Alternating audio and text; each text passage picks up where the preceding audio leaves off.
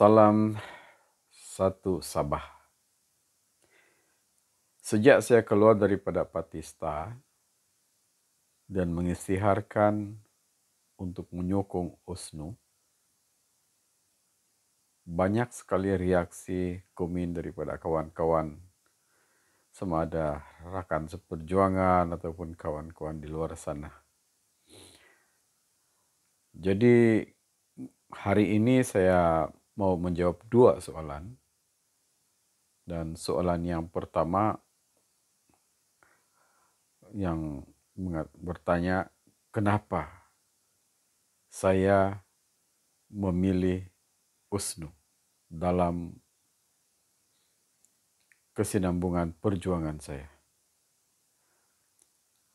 Oke.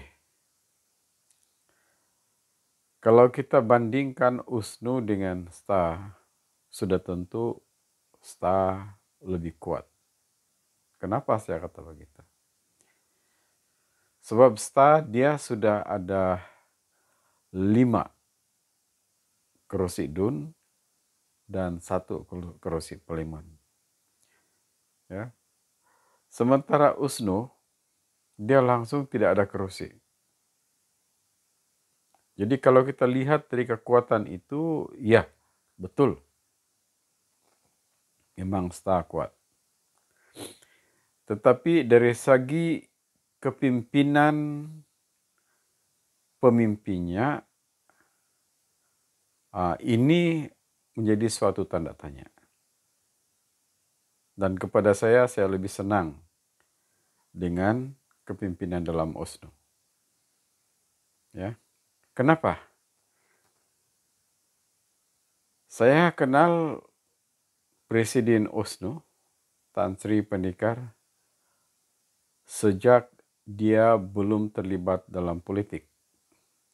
Waktu itu dia masih um, peguam. Dan saya tahu pejabat dia disendakan. Uh, dia bersama-sama dengan TYT kita, Tun Juhar. Dan pejabat pakcik saya, di mana tempat saya bekerja berdekatan.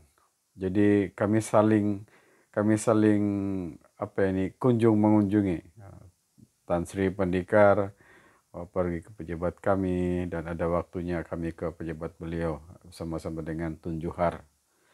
Ya. Dan di situ saya kenal pemimpin ini. Satu yang rakan-rakan tidak tahu tentang Tan Sri Pandekar ini. Sebelum dia jadi ahli politik, adalah dia punya hati itu. Untuk makluman kita semua, semasa berjaya. Berjaya, Pati Berjaya, kerajaan Berjaya pada waktu itu dia merancang untuk membina jalan daripada sim-sim itu disandakan ya daripada sim-sim ke Batu Satu Sanga di kawasan apa ini hospital. Hospital Duchess of Kent. Ya. Dan di situ ramai orang kampung di sana yang tanah mereka akan di apa ditolak ya. Jadi adalah masalah di situ macam mana membina jalan di sana sedangkan ada orang kampung punya jalan kan.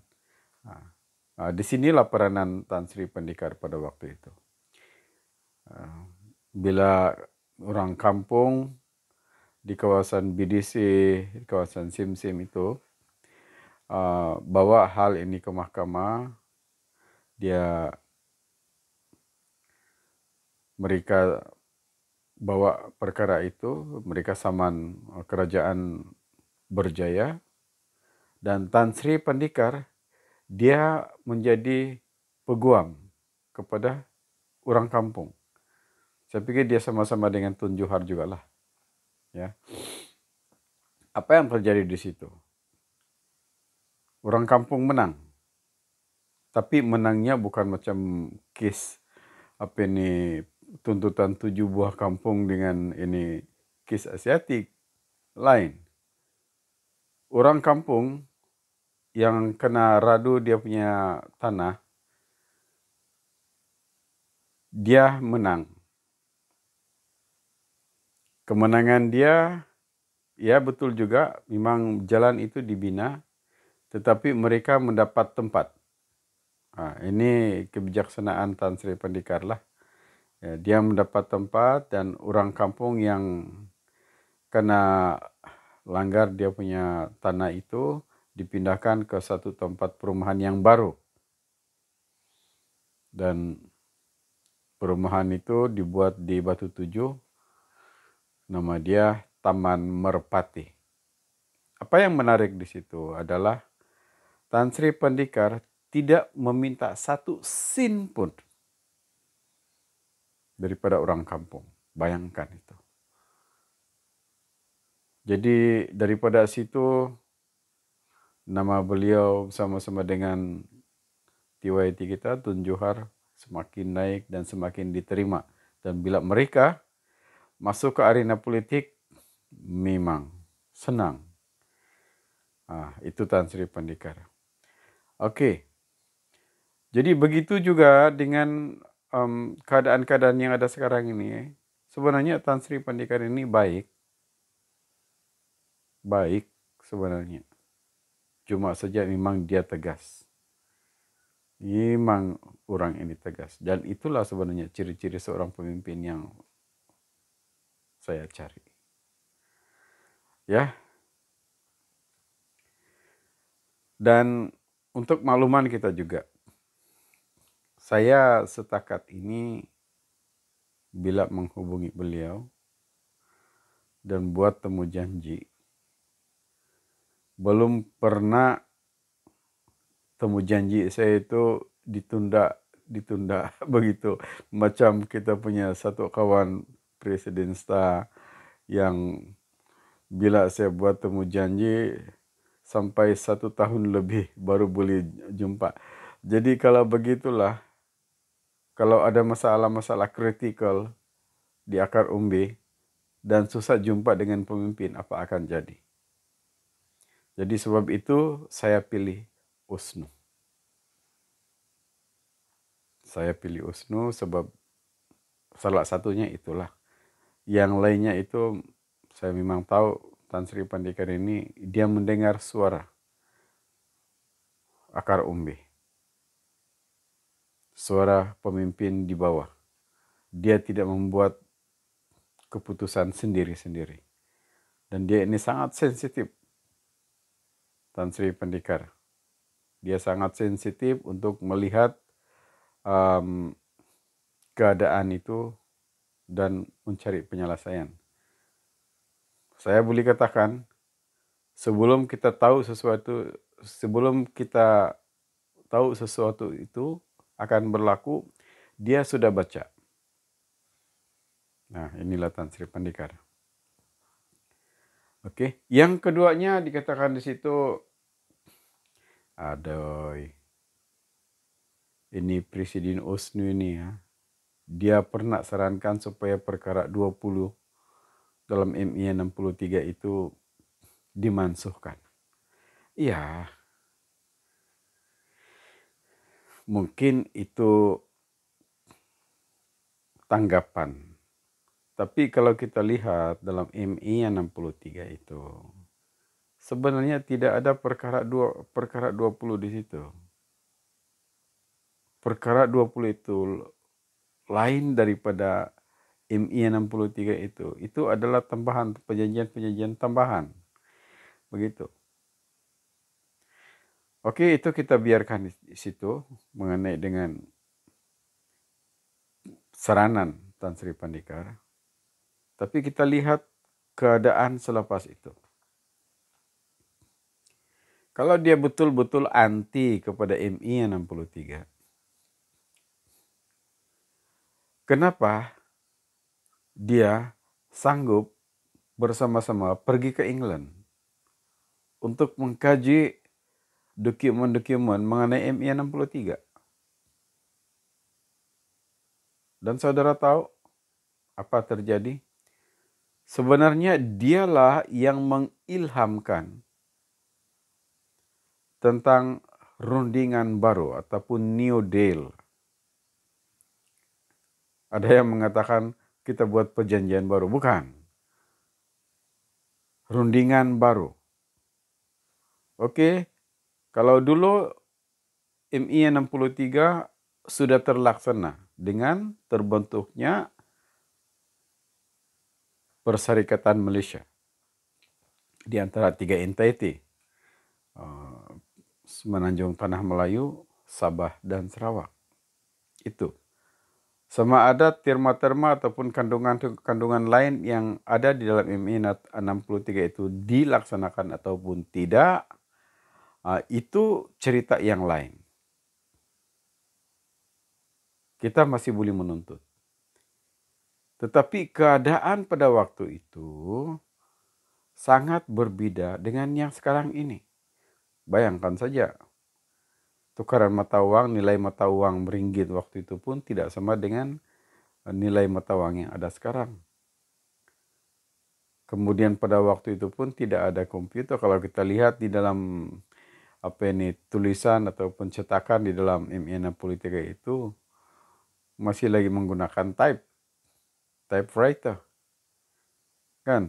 Nah, berbanding dengan sekarang kita gunakan komputer, tulisan itu cetakan itu lebih kemas. Jadi perlu adanya rundingan semula dan yang mengilhamkan itu sebenarnya Tan Sri Pendikara. Jadi janganlah kita terlalu memandang apa ini prasangka ataupun pendam rasa yang terlalu negatif kepada pemimpin-pemimpin kita. Tidak bagus. Kalau kita lihat kepada Dr. Jeffrey sendiri pun sebenarnya adalah juga di situ masalah-masalah dia kan sampai orang viralkan di situ dalam video tentang oh dulu pendirian dia begini sekarang begini dulu dia pernah buat begini lepas itu begini saya tidak mau lah um, bagi saya saya walaupun saya sudah keluar daripada sta saya tetap hormat kepada uh, Dr. Jeffrey sebab saya sudah mengikuti perjuangan dia sejak tahun 1984. Dan saya mula bersama-sama dengan dia memperjuangkan MI 63 dan bukan itu saja, saya lebih suka mengatakan bahwa saya bersama-sama dengan dia memperjuangkan agenda Borneo. Apabila kita bercakap tentang agenda Borneo, kita ada suatu ideologi yang harus diserapkan kepada masyarakat Dayak ini. Kalau saya cakap eh, masyarakat masyarakat Dayak, um, mungkin orang Sabah tidak paham. Tapi maksud masyarakat Dayak itu adalah masyarakat orang asal, Momogun. Ya, kalau di sebelah Kalimantan, sebelah Sarawak, dan juga sebagian daripada Brunei, mereka lebih paham, uh, lebih mengerti kalau kita katakan oh orang Dayak. Artinya orang asal Borneo. Tapi kalau di Sabah lebih senang kalau dikatakan Omomogun. Tapi sebenarnya sama juga. Jadi itulah kita perkuatkan kesatuan orang asal di Borneo ini dan sekarang kita sudah semakin nampak perkara itu. Ya. Jadi itulah um, kenapa saya memilih Osno. Osno dia tidak punya apa-apa, minta maaf saja Tan Sri. Nah, Tan Sri sendiri kata, kami tidak ada apa-apa, kenapa kamu mau masuk? Ya, bukan ada apa-apanya yang kita perlu. Tetapi kualiti kepimpinan suatu organisasi itu yang kita perlu. Saya keluar daripada asta sebab dia berubah. Kalau dulu senang, sebagai contoh, masalah tanah di daerah Tongod, di Kiandungu, eh, kampung Kiandungu dengan salah sebuah uh, serikat swasta. Saya telepon beliau, kebesokannya datang. Ya. Beliau lebih awal datang daripada saya di lokasi. Ya, lebih awal datang sampai di lokasi daripada saya. Lepas itu tragedi Sukau. Di mana serikat dia tumbang itu rumah orang-orang kampung di sana. Dia kata mereka mencerubuh tanah kami. Sedangkan sebenarnya orang kampung sudah lama berada di situ banding dengan orang uh, serikat. Saya hubungi beliau dan beliau terus datang. Tetapi bila sudah menjadi sebahagian daripada kerajaan, semakin ramai pengampu pembodiknya di situ yang coba meracuni pemikiran beliau. Beliau seolah-olah tidak sadar bahwa beliau sedang diracun. Pemikiran beliau sedang diracun oleh orang-orang yang seperti ini. Dan akhirnya rakan seperjuangan seolah-olah dipinggirkan. Jadi saya tidak bermakna keluar daripada Patista dan sangat benci kepada pimpinan saya. Tidak. Tapi kalau saya sudah keluar daripada Patista, bolehlah saya tegur kepimpinan sta daripada luar. Kalau saya tegur daripada dalam, habis. Tidak ada langsung yang boleh terjadi.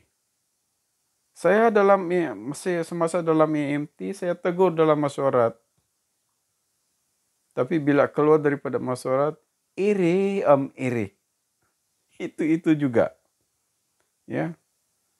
Bila saya bukan dalam uh, EMT sudah dan saya cuma sebagai apa ini bahagian, tapi saya masih dalam grup kepimpinan dan bila saya tegur pun ada pula pembudik-pembudiknya yang marah saya. Ah, ini masalahnya. Sekarang pun yang pembudik-pembudik itu, ah, dia cakap ya, perkara-perkara perkara yang boleh dikatakan sangat menyedihkan lah.